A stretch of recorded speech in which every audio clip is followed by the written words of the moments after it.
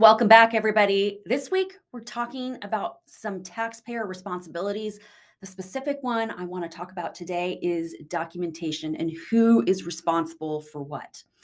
I actually recently lost a client because they didn't like the part of my engagement letter that specified that the taxpayer is responsible for the accuracy of the information provided to me he felt that I should be responsible for the accuracy of that information. And then I explained that I am actually responsible for the accuracy of the information I put into the software, into the tax software. So if the taxpayer gives me information, I guarantee that the information they give me will be entered correctly into the tax return but I don't guarantee the accuracy of that information. And there are a lot of reasons for that. Because, first of all, we cannot guarantee the accuracy of work done by other people. So if you're bringing me W 2s, 1099s, other tax documentation, there's no way for me to guarantee the accuracy of those documents. It's not even reasonable. Um, and then, of course, if you're a business providing me with your income and expenses, please note that you are the one providing me that information. And I may ask some follow up questions. I may ask for missing deductions, but ultimately, you are still responsible for the accuracy of that information because you provided it to me. Again, I make sure that what I enter into the tax return is accurate.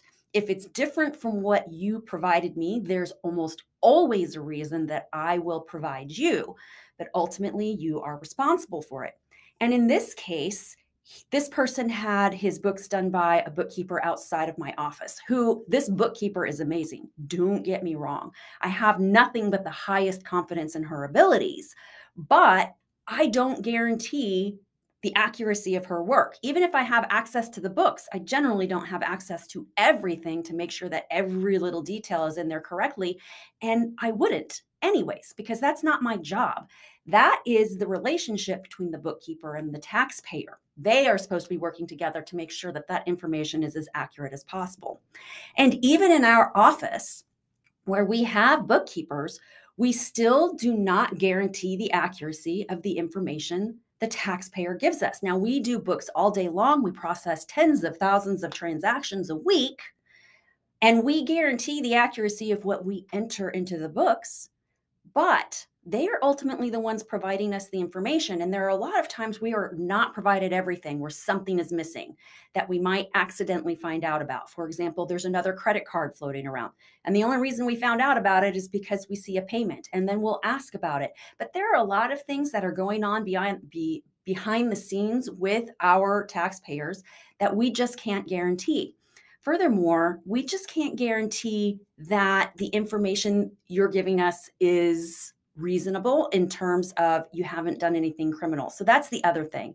This person, for some reason, had an issue with the fact that our tax preparation processes are not designed to find what are called defalcations, which are really misrepresentations or criminal activity.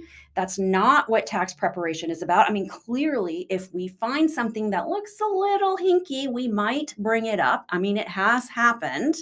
Okay. But that's not what tax preparation services are designed to do. That's not the job. So while you're reading engagement letters, when you see that part where it says the taxpayer is responsible for the accuracy of the information they provide, just note that no matter where you go, there is no way an accountant's engagement letter isn't going to include that because you are responsible for the accuracy of the information you provide to us and then we are responsible for the accuracy of the information we put into the return.